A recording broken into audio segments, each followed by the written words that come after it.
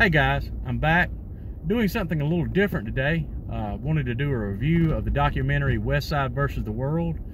Uh, and first off, let me state that it is one of the best uh, strength sport uh, documentaries uh, available, certainly that I've ever uh, seen. Um, there's an older powerlifting documentary called Power Unlimited that's fairly low tech, somewhat low budget, or at least it appears that way to some extent, that is kind of bare bones and covers the sport. And let me go ahead and say that this is not really a powerlifting documentary, although it does discuss in great detail kind of the evolution of the sport. Um, it's more about Louie Simmons and Westside Barbell. Uh, and I'm kind of shocked that there aren't more reviews of this film. And uh, before I go any further, I would like to encourage you to support the film by purchasing your copy uh, you can download it uh, from almost any digital platform available, Google Play, Amazon, iTunes. Uh, you can order it on Amazon for, you know, get a DVD version or Blu-ray. Uh, I'm not sure about the Blu-ray. I know there's DVD versions, and overseas I think it's available on Vimeo. But at any rate, great documentary.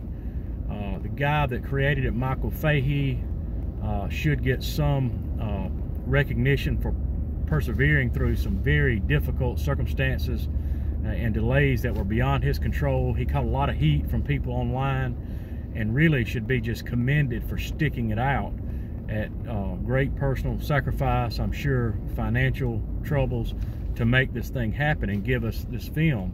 Uh, but I don't want to give the entire film away, so I'm going to summarize kind of the, the, the feel of the documentary. But anyway, it begins with background on the founder of Westside Barbell.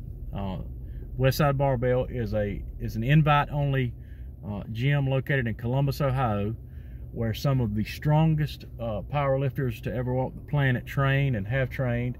Some of the most influential uh, lifters and and folks on social media, you know, got their start there, or at least highly influenced by Louie Simmons, Westside, and/or their methods. And uh, starts out, you know, giving you a history of of West Side, including where Louie got the name. He was, you know, young poor kid from the east side of Columbus and had kind of a troubled childhood, a really young uh, childhood trouble, and uh, that precipitated he and his family moving to the west side of Columbus, which is uh, kind of more of a grittier blue collar side of Columbus, according to people in the in the documentary. I've never been to Columbus. I, I, don't know that for a fact. I'm not trying to disparage anybody from the west side of Columbus, but those are the words of Louie Simmons. It's kind of more rough and tumble part of town. Uh, and he took the name West Side from a, a, gym that predated the West Side located in Columbus. The original West Side Barbell was located in Culver City, California. And it was while Louie Simmons was in the military uh, reading basically some fitness magazines, bodybuilding type magazines that he learned about some of the training methods of those individuals. Uh, they utilized things like the box squat, and he kind of, you know, adopted some of those and, and, started using them in his training. But it covers his background, how he started in Olympic lifting, and how he eventually found powerlifting, and and that became kind of his his focus. Um, and let me note, you know, right away that Westside Barbell does much more than train uh, a bunch of meathead powerlifters. It is roughly 95% sports and athletic, big, you know, mainstream sport training, some MMA fighters, uh, track and field athletes, football players, that sort of thing, and maybe 5% powerlifting. But it's uh, got a reputation for the atmosphere there. And uh, it is uh, the documentary does a great job of covering uh, what what it's like in those walls. Um, some very uh, poignant moments throughout the film. It the, the film and Louie himself, uh, the, the film does this very well. It, it it portrays and highlights the paradox of Louie and his uh, philosophy on life. Louie it really is, and I love the way Ed Coan characterizes him as kind of this Yoda figure and how he says he even kind of looks like Yoda now. And he is just this wealth of knowledge. Um, Louie himself, will, you know, maintained an elite total for 30 plus years. Uh, he was never, you know, he was never a world champion power lifter, but I don't think you have to be a world champion to be a great coach. You know, he, he was never, you know, the, the, greatest in his weight class or the greatest of all time. He, he, he's not Ed Coan, but he is a great coach. Uh, film touches on how uh, initially it was uh, uh, something that Louie started in his garage. He moved it into a commercial space and kept the powerlifting area separated. Um, and through his injury, specifically two severe injuries to his lower back, um, he sort of became an innovator. Uh, one of the first things he did was he created one of what I believe to be one of the greatest pieces of strength equipment ever developed, the reverse hyper. I have one. His old 1994 version is in my garage gym right now.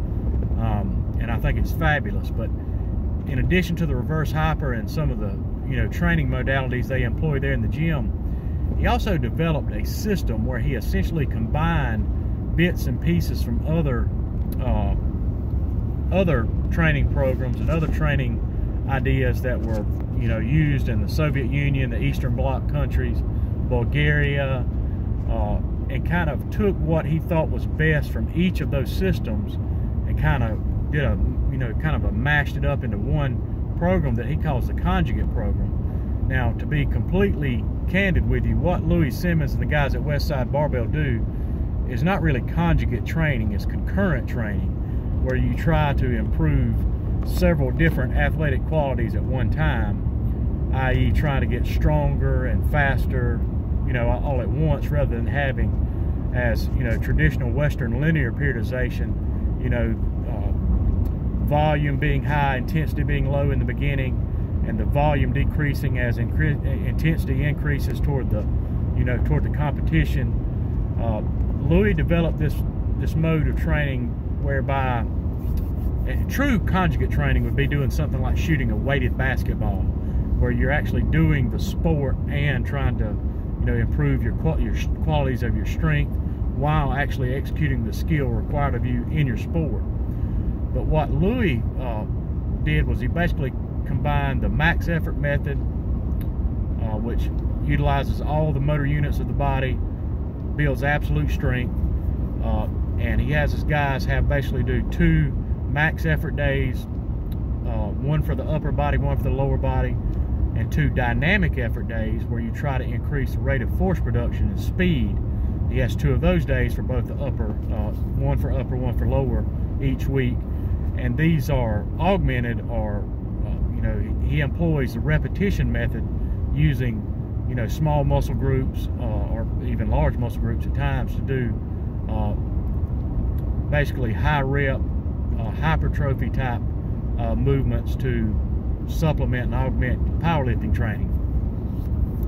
And he developed this system, and right away, it was not like everybody jumped on board and just, you know, everybody ran to the conjugate way of doing things. Uh, it was not until one of the earlier members of Westside, uh, crazy, very uh, fascinating, enigmatic character named Matt Dimel, uh, squatted over a thousand pounds and this is back in the day when a thousand pound squat was, was quite rare. Uh, once Matt Dimel did that, uh, Louie, you know, kind of gained more prominence in the lifting community, and other coaches and athletes started to seek him out. Uh, he attracted another enigma from powerlifting, uh, a young Matt Wenning, I'm sorry, a young Chuck Vogelpohl. Uh, later, Matt Wenning and some of those other younger guys would come, but the the core of Westside basically started with Louie Simmons, uh, Chuck Vogelpohl, and Matt Dimel. Uh, Bob Coe, uh, who's kind of characterized as this you know sidekick master motivator. Uh, he he was there in the early days. Mike Jester, uh, Dave Tate was an early member when they leave the commercial gym and go back to you know a smaller private facility. Uh, and it's just fascinating. There are no dues, there are no fees. Uh, he buys everybody breakfast. You know, back in the early days that was not the case, but that's that's what he does now, and it's it's all about making you as strong as humanly possible. And the documentary does a great job of just kind of capturing the the paradox. Like I said, Louie is a paradox, and uh, he is extremely devoted to his athletes up to a point. Uh, once the athlete, uh, you know, is no longer capable of breaking an all-time record or producing results or improving, you know, Westside's performance, then he kind of kind of seems cold to an extent. He doesn't really have a whole lot of use for you at that point. Uh, he doesn't necessarily kick people out when they stop performing, but he's not. They don't get much of his attention and energy. And I think the way I, you know I took what I took from this is Louie has been doing this for so long now that guys come to him when they're you know 20 years old and they want to be world champion, you know whatever eh, in whatever sport.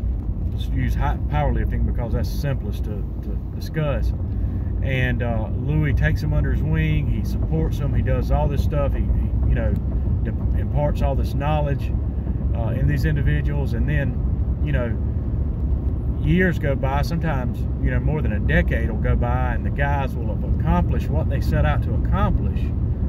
Uh, and maybe they want to move on and do something different, or kind of life gets in the way. They have families, they want to, you know, embark on their own careers. But Louie Simmons is the same uh, he still wants for you what you wanted for you back when you were 20. And he doesn't understand now that you're 30 and you maybe don't want those things anymore. He doesn't, that does not compute with Louie Simmons. Uh, he, he does not like social media. He doesn't really keep up, you know, with the uh, changing uh, mores out in society. He wants, you know, he just got a certain way of doing things and He's got his expectations of his lifters, and he makes that clear from the outset. This is not something that should surprise anyone that goes to Westside. Uh, he is there to make you strong so that you can make the gym strong. Uh, but it basically showcases dynamic how, you know, these older guys that started with him kind of get banged up. Matt Dimel, unfortunately, dies from an overdose. Uh, you know, Chuck Vogelpohl starts to get banged up and older, and then he's got this new crowd that uh, Greg Panora, Luke Edwards, Matt uh, Wenning, these guys that all come in, and he kind of starts over with them, and there's controversy there. The old timers feel like he's kind of turning turning his back on them and focusing on the young blood because of what they can do for West Side, and that's, I mean, I don't know why they're surprised by that. That's basically what he did with them when they came in. Uh, so it, it's, you know, Louie loves his athletes on the one hand and is extremely devoted and on the other hand, he can seem kind of callous and cold. Um, it it did, did a great job of kind of capturing the essence there. Uh, it is not a rah rah West Side is the best side documentary. It does make you think, and it certainly is very motivational. But he has, you know, he, he the, Michael Fahey pulled from all walks of, of, you know, the spectrum of people and their opinion on West Side uh, you have, uh, you know, some comments by Matt Wenning and Greg Panora. They were interviewed, and they they didn't part West Side on really good terms at all. Um, and I think one of the the big issues with West Side and why it's criticized so much today, and like I said, Louie doesn't change. Louie Simmons is still the same Louie Simmons today that he was 40 years ago standing there. So when the sport changed initially, and I think Mark Bell makes a great point here. Initially, Louie Simmons would do whatever it took to keep up with those changes, to kind of stay ahead of the curve on the cusp of innovation.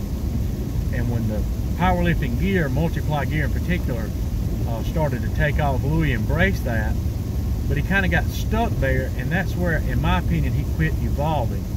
Um, he, I'm glad to see nowadays that there's big raw lifters training at Westside and I think if Westside devoted itself fully to raw powerlifting, they would dominate raw powerlifting the same way they dominated geared powerlifting. But nobody is really interested in geared powerlifting anymore. And I know I, I love Dave Tate. He plays a big part in the documentary and played a huge role in, in kind of proselytizing for the conjugate, you know, training method. You know that that that the conjugate way. Um, so has Matt Wenning. But I think they're correct when they state that geared powerlifting showcases more technique than raw powerlifting uh, because you have to have such you have to be such uh, a technician at using the gear my counter to that and I think it's a logical argument I don't know how they would argue this. Not many people tune in to watch powerlifting or engage in powerlifting to for the technique. Um, you don't turn, you don't watch or go on YouTube and watch somebody uh, perform a lift unless you're a beginner because you want to see what a technician that individual is. You want to see strong people moving heavy weights. That's what the sport was created for. If we were just going to be looking at technicians, we would watch some other sport, golf, Olympic lifting, where technique is far more important than strength. I'm not saying strength's not important in Olympic lifting at all, but it's certainly more, technique is more important. Um, so I think, you know, when their reasoning is that, well, it's more of a technique and that makes it more fun, no. That if, if it's all about technique, then I think you're, you're, you're, you're barking up the wrong tree. People aren't interested in powerlifting to watch the most technically gifted people in the world. We certainly want them to be technic technically proficient. We want to see the strongest people in the world, though. That's why we, we like power sports.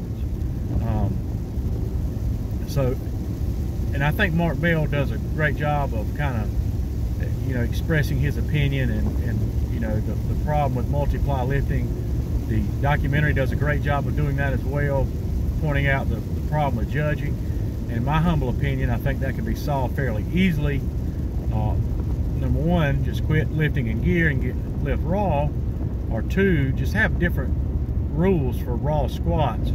Maybe where the uh, the uh, thigh has to be parallel to the floor, or the uh, knee and the hip have to, it has to be a straight line between the two. Uh, because it's very rare for me to see, and I competed, when I started, geared powerlifting was powerlifting. There was no raw. Um, but the gear back in 1995, 1996 was not nearly as um, supportive as it became in later years.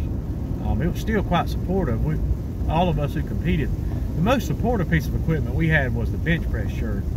And you know, myself, some of the guys I trained with, some of those guys could get as much as 40, 60 pounds out of a bench shirt.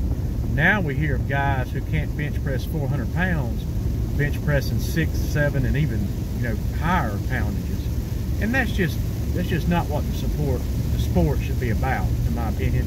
And people have kind of gotten wise to that, and they, that's why it's dying out, or definitely declining. There are more raw lifters by you know by far than geared lifters. And people can't really relate to it and the documentary does a good job of covering that. All that aside uh, it is in my opinion the single best power sport documentary ever created. Um, Dave Hoff uh, Ed Coan, Dave Tate Luke Edwards uh, Louie Simmons all of the interviews are just great.